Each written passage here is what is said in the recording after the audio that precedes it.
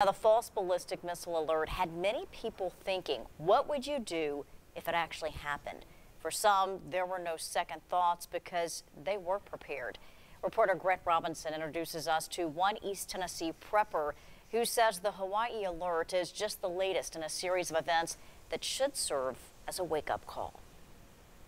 Now, prepping isn't anything new. There's financial, physical, and spiritual prepping. And here in East Tennessee, they're not just prepping for the end of the world. What is at stake is more than one small country. Three words changed Heidi Keller's life. A new world order. But when I heard George Bush Sr. in a speech use the word New World Order, it was a wake up call for me. So I began to prepare in whatever way possible. I wasn't for sure what I was preparing for, but I've had a backpack in my car ever since. What started with one emergency bag.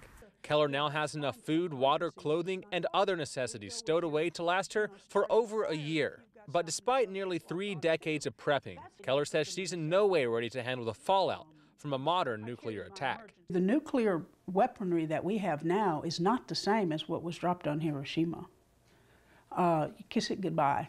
I'll be honest with you, as close as we are to Oak Ridge, no, I don't think we'll, we'll survive that. It's, it's, it's just, you can't, I wouldn't want to survive it, let's put it that way. Keller refers to herself as a homesteading prepper.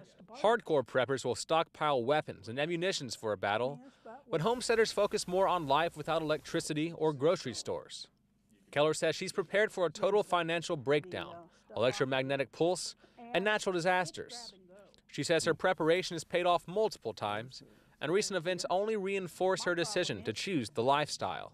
This question I get asked well, what if nothing ever happens? Okay, nothing happens. But what if it does? Are you prepared? Were they prepared in Hawaii? As I was reading the, even though it was a false alarm, what were they saying? Tears and panic. Now, while Keller takes prepping very seriously, she says it's also fun and it's important to get out and go camping with your gear. That way you're used to it and you have a well thought out plan so you don't panic in case there is that tragic disaster. In Cocke County, I'm Grant Robinson. Back to you.